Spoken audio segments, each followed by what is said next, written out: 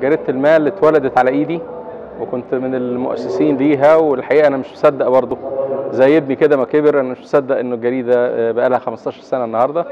و15 سنة ثابتة جدا في أدائها وبتتطور كمان. فأنا بتمنى لل, لل...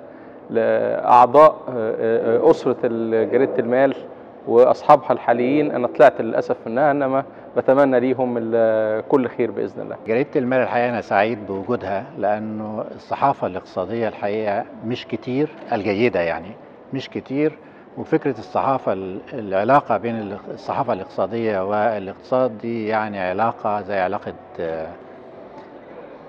جواز كاثوليكي مع إن الوزير نبيل فهمي لما قال كده الناس زعلت منه قوي إنما الحقيقة يعني أنا أعتقد الإقتصاديين عندهم أفكار لو مش في إعلام اقتصادي جيد علشان يوصلها الحقيقة الناس مش هتفهم.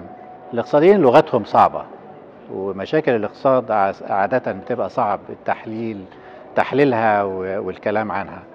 فلما يبقى في عندك جورنال محترم جاد زي المال بيحاول يعمل عملية الوصل دي بين الأفكار اللي شوية صعبة وبين الناس كلها بتقلق على الاقتصاد. فأنا أعتقد أن دور جريدة المال دور حيوي ودور هام. أنا سعيد النهاردة أن أكون موجود مع جريدة المال بعد مشوار طويل قطعته 15 سنة. بقول أن التقدم اللي حصل والتطور اللي حصل في أداء الجريدة وفي الصحفيين كان شيء كل واحد قادر يشوفه. الأخبار بتيجي في وقتها التحليلات بتبقى كلها فيها عمق. يمكن ربطها بالأحداث العالمية هو أكتر ما يميز المال عن الجرايد الأخرى. وأنا سعيد بال هم 15 سنة عقبال ما يبقى 150 سنة إن شاء الله. يمكن كان في تغطيات كويسة للمشروعات القومية اللي بتقوم في الفترة اللي فاتت.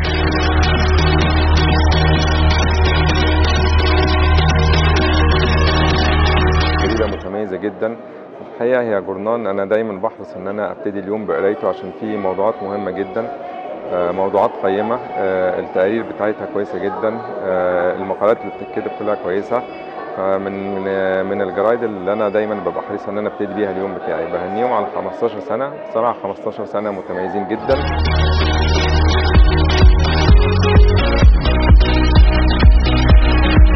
جريدة محترمة جدا بتغطي قطاع المال وقطاع الأعمال في مصر. وطبعا بحكم وظيفتي فمن القطاعات المهمة بالنسبة لي قطاع الاتصالات وشايف إن المال بتعمل فيه شغل هايل وجريدة متنوعة مشوقة فيها أفكار جديدة وأفكار تحريرية محترمة. وسعيد بيهم وسعيد بعلاقتنا معاهم كفودافون مصر.